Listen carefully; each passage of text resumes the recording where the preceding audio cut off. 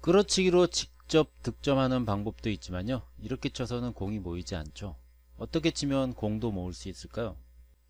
두툼한 두께로 옆돌리기를 친다면 이적구가 있는 코너에서 공을 모을 수 있습니다.